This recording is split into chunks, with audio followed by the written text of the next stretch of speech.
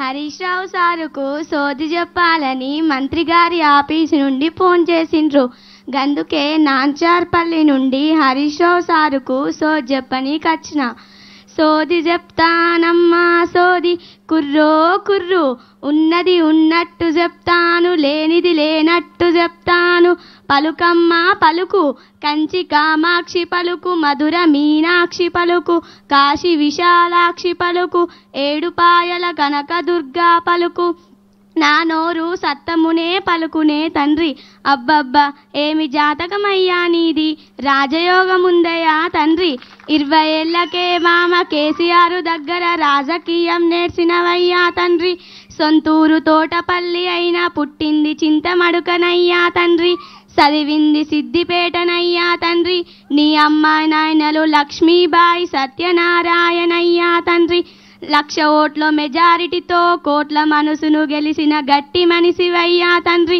చిన్న వయసులోనే ఆరుసార్ల ఎమ్మెల్యే మంత్రి పదవులను ఏలిన రాజకీయ చతురుడవయ్యా తండ్రి. సిద్దిపేట గడ్డ మీద ఎవరు చెయ్యలేనిది నువ్వు చెయ్యనీకే పుట్టినవయ్యా తండ్రి. తెలంగాణకు ఢిల్లీ టైగర్ అయినా అసెంబ్లీ టైగర్ అయినా ట్రబుల్ షూటర్ అయినా నువ్వేనయ్యా.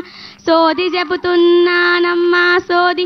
కుర్రో కుర్రు. తెలంగాణ ప్రజల బ్రతుకులే నాడు కష్టాల గోసలే తండ్రి. దోసెడు నీళ్ళ కోసం వెతుకులాటలే తండ్రి. బీడువారిన భూములుండనే తండ్రి. తెలంగాణ ప్రజల నీళ్ళ కష్టం తీర్చిన అపర తండ్రి. కుర్ కుర్రో కుర్రు సోది చెబుతున్నానమ్మా సోది. తెలంగాణలోనే సిద్దిపేటను నంబర్ వన్ చేసినవయ్యా తండ్రి. నాడు భూమి మీద చెట్లు లేక చెడ్డగాలులే తండ్రి. నేడు హరితాహారంతో కోట్ల మొక్కలు మంచి గాలులే తండ్రి. కుర్రో కుర్రు సోది చెబుతున్నానమ్మా సోది. నాడు సిద్దిపేట నీళ్ళ కరువుతో పిల్లనీయకపోదురే తండ్రి. నే- నేడు రంగనాయక సాగరుతో ఎండాకాలం చెరువులు మత్తళ్ళు దుంకుతున్నే అయ్యా తండ్రి. కుర్రో కుర్రు సోది చెబుతున్నానమ్మా సోది. నాడు సిద్దిపేటలోన సేద తీరుదామంటే జాగనే లేదే తండ్రి. నేడు నెక్లెస్ రోడ్డు కొమటి చెరువు దగ్గర సేద తీరుతున్నరే తండ్రి. కుర్రో కుర్రు సోది చెబుతున్నానమ్మా సోది. నాడు పెద్ద చదువులు చదవాలంటే అవకాశాలు లేవే తండ్రి.